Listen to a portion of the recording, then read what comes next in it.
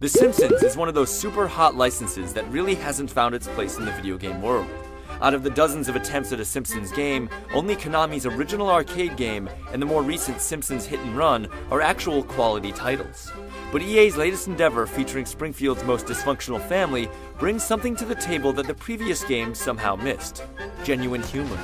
Unfortunately, the writing isn't the only funny thing in the game.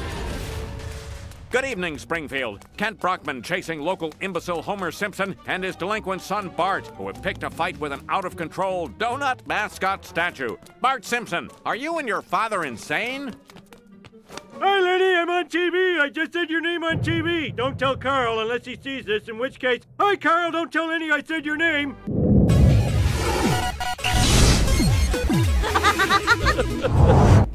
Hello, pathetic store nerd. One copy of Grand Theft Scratchy, please. I'm sorry, sir. That game is rated M. No problem. I have ID. This is a Cal Calzone Zone frequent calzone eater's card. There's a free calzone in it for you. While each level in the Simpsons game really is its own story, the overarching theme is the release of a hot new video game, Grand Theft Scratchy, that has captured the hearts and minds of Springfield's youth.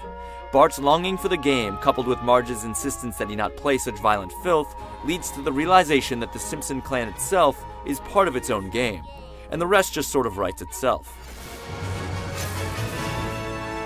Wow, this is the only good book ever written.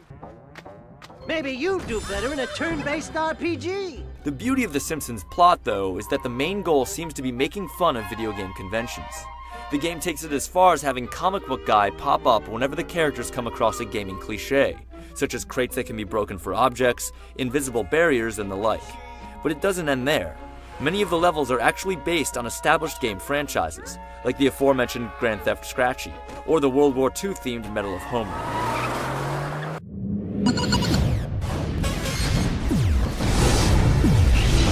The only play option in The Simpsons is the main quest, which consists of just under 20 wildly varied levels.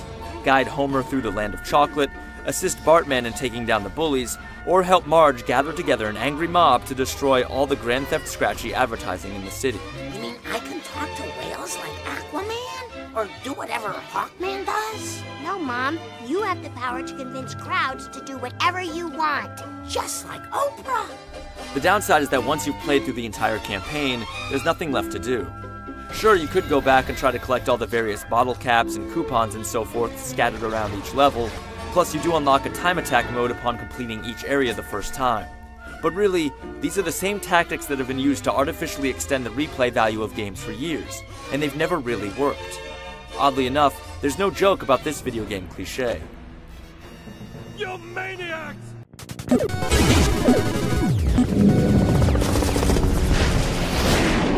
For all the level variety, it's a bit disappointing to find that much of the gameplay in The Simpsons doesn't really change much from level to level. All four characters have their own particular special moves. Homer can turn into a destructive Homer Ball, Lisa can call forth the power of her god, Marge can incite angry mobs, and Bart can don his mask and cape to float around. Mostly, though, you'll be running around each level punching the living crap out of various other Springfield citizens or items that cross your path. Oh, and every now and again, Marge can dispatch Maggie into really tight areas to solve a puzzle or two. In order to switch things up a bit, almost every level requires a certain amount of teamwork between two pre-selected characters. The game is obviously meant to be a multiplayer experience, and when played as such, is a lot more fun than constantly swapping between the characters. At its heart, though, The Simpsons is a pretty average action game, complete with slight collision and camera issues, that's saved somewhat by its license and content. It's amazing what you'll be willing to overlook in the name of a good laugh.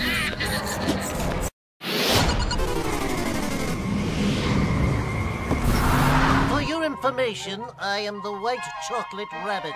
Hey, white chocolate's not even chocolate. It doesn't even contain cocoa salad. Well, if I'm not real chocolate, then you probably wouldn't be interested in eating me. Mmm, white chocolate. Visually, the Simpsons game has its ups and downs. While the graphics and animation look great, it's obvious these characters were never really meant to jump into the third dimension. So when the camera is placed properly, everything has a cool, almost hand-drawn look about it. But when the camera moves around the denizens of Springfield, they tend to look downright bizarre, and not in a good way. To round out the package, we get some animated cinema scenes as well, and everything is voiced by the actual Simpsons cast, so the great lines are delivered exactly as they should be. If you're planning on coming home like that, don't bother. Dad, I'm a superhero now, and I have all these awesome powers. Superpowers, huh? Well, that's cool, I guess. I was gonna go shoot bats while reading swimsuit magazines in this cave. Wanna come with? The Simpsons game is a good time in spite of the somewhat mediocre design and technical glitches. Considering that the license is notorious for being slapped onto downright awful games, most fans will probably decide that good enough really is good enough. If nothing else, this playful romp packs in enough in-jokes for both Simpsons fans and gamers in general that it's definitely worth playing through at least once. Hope I win. Last year I was the first guy to barf. Barf, please. In this business, we refer to that as a Roman incident.